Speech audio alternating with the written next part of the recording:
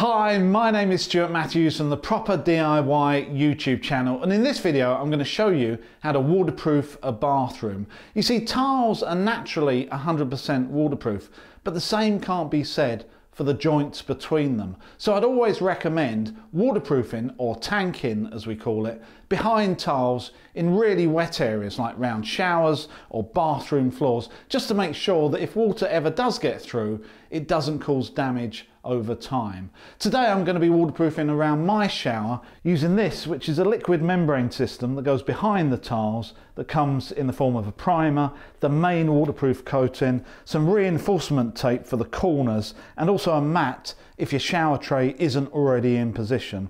All of this gets painted on simply with paintbrushes but I do have to make sure I've got my PPE in the form of gloves and eye protection. This sort of stuff, you don't really want it on your skin and you definitely don't want it going into your eyes. Just one little tip, just make sure the gloves are waterproof. They don't have to be heavy and thick, they just have to be waterproof. That's why I'm wearing surgical gloves for this.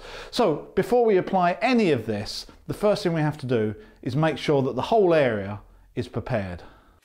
This type of waterproofing needs to be applied to a reasonably smooth surface. So any old tiles or grout needs to be removed and any voids or gaps need to be filled and allowed to dry. The first job is to apply a primer and for a shower the manufacturer suggests it needs to be put on up to at least one and a half meters high, my shoulder height, because below this is where the majority of the water splashes are going to be, although there's no reason you can't go full height.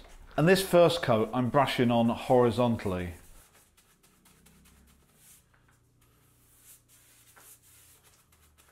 Once touch dry, I apply another coat, but this time vertically, and then allow this to dry.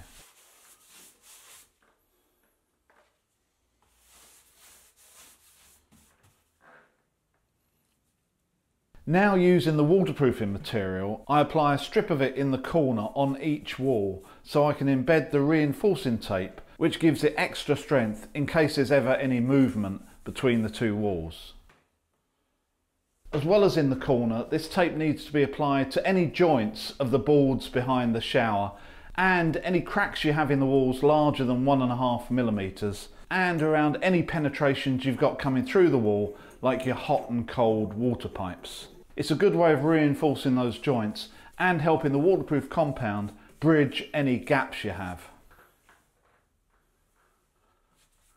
Now when you get to this point, if you haven't got a shower tray already in position or you're waterproofing on a floor that could just move a little bit and give a little bit. This is where this mat comes into play and you use it in the same way as you use the reinforcing tape. You put waterproofing down, you lay the mat on it and embed the mat between two layers of waterproofing. That way it means that if you do get any movement, the mat reinforces the waterproofing and makes sure that the water doesn't go through. I'm lucky that I've got my shower tray in place, but what I'm going to do now is a little trick just to make sure that any water that does go behind the tiles coming down the wall ends up going into the shower tray. I first mask off the shower tray around six or seven millimeters from the wall. This is going to keep the main part of the tray clean and leave a strip the thickness of the tiles and adhesive for the waterproofing tape to stick to and then using the waterproofing compound, I cover the area and embed some tape in the same way as I did in the corner. So it's just lapping onto the top of the tray, but won't be seen protruding from the bottom of the tiles once they're in place.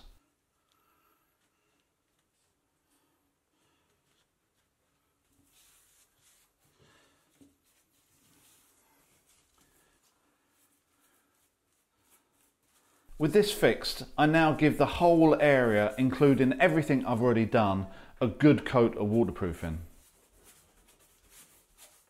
So that's what it looks like when it's finished. It's a continuous layer that fills in all the nooks and crannies and it gives you a nice smooth waterproof coating. But before you do any tiling on that, make sure you leave it at least 24 hours to cure and dry off before you put any adhesive on that.